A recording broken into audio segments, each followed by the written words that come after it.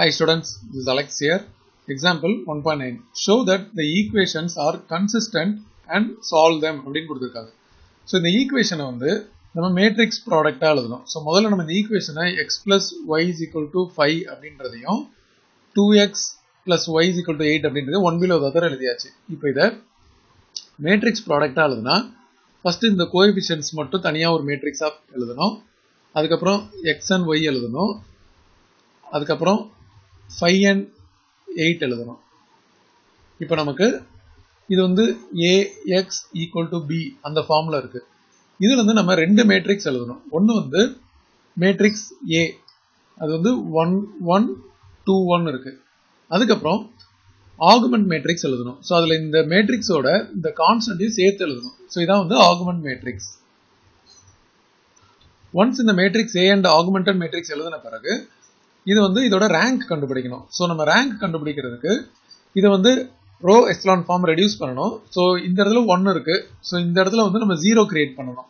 So இதை zero create பண்ணுறதுக்கு நம்ம வந்து யூஸ் பண்ணுற எலிமெண்ட்ரி ஆப்ரேஷன் வந்து row two goes row two minus two row one so அப்போ இது என்ன ஆகும் அப்படின்னு பார்த்தீங்கன்னா ஃபர்ஸ்ட் ரோ நம்ம எதுவுமே பண்ணல. ஆஸ் இட் இஸ் இருக்கும். இது வந்து டூ டைம்ஸ் மல்டிப்ளை பண்ணி இங்கே சப்ராக்ட் பண்ணும்போது ஜீரோ ஆகிடும் இதை டூ டைம் மல்டிப்ளை பண்ணி சப்ராக்ட் பண்ணும்போது மைனஸ் ஒன் வந்துடும் ஸோ அதே மாதிரி இங்கேயும் வந்து இது டூ டைம்ஸ் மல்டிப்ளை பண்ணி சப்ராக்ட் பண்ணும்போது ஜீரோ வரும். இது மைனஸ் ஒன்று வரும். இதை டூ டைம் மல்டிப்ளை பண்ணி சப்ராக்ட் பண்ணும்போது மைனஸ் டூ வரும்.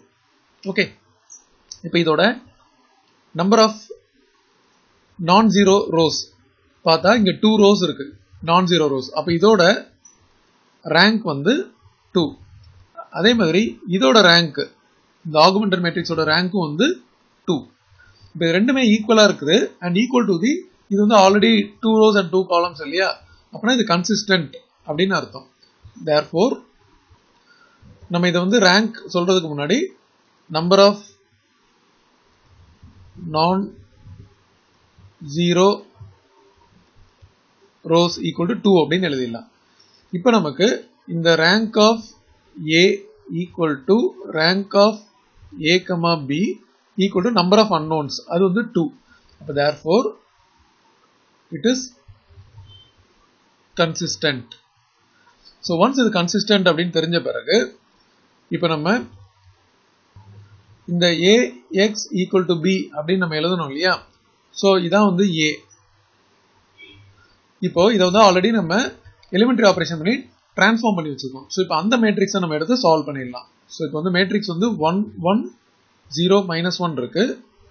இதோட எக்ஸ் ஒய் மல்டிப்ளை பண்ணணும். ஸோ இங்கே கான்ஸ்டன்ஸ் பார்த்தீங்கன்னா இந்த இடத்துல வந்து ஒரிஜினலி வந்து நமக்கு ஃபைவ் அண்ட் எயிட் இருந்துச்சு. பட் எலிமெண்ட்ரி டிரான்ஸ்ஃபார்மேஷனுக்கு அப்புறம் ஃபைவ் அண்ட் மைனஸ் டூ இருக்கு. ஸோ இதை எடுத்துக்கணும். இப்போ இதை எடுத்துகிட்ட பிறகு நம்ம டைரெக்டாகவே சால்வ் பண்ணிடலாம். இப்போ இதை நீங்கள் சால்வ் பண்ணும்போது நம்ம இது மல்டிபிளிகேஷன் பெர்ஃபார்ம் பண்ணணும் இல்லையா? ஸோ இந்த ரோ எடுத்து கரஸ்பாண்டிங்காக மல்டிப்ளை பண்ணணும். அப்போ இது என்ன ஆகும்னு பார்த்தீங்கன்னா ஃபர்ஸ்ட் ரோ வந்து எக்ஸ் ப்ளஸ் ஒய் வரும். செகண்ட் ரோ ஜீரோ மைனஸ் ஒய்னு வரும். ஸோ இதுதான் equal to five and minus two இப்போ நான் வந்து இந்த corresponding y and y equate பண்ணும்போது minus y equal to minus two அப்படின்னா ஒய் ஈக்குவல் டு டூன்னு வந்துடும் இந்த ஃபஸ்ட் ஈக்குவேஷனில் அந்த ஒய்யை சப்ஸ்டியூட் பண்ண போகிறோம் so x plus y equal to five இதில் நம்ம ஒய்யை சப்ஸ்டியூட் பண்ணிட்டோம் அப்படின்னா இதில் வந்து எக்ஸோட வேல்யூ த்ரீ அப்படின்னு வரும். So x is equal to three y is equal to two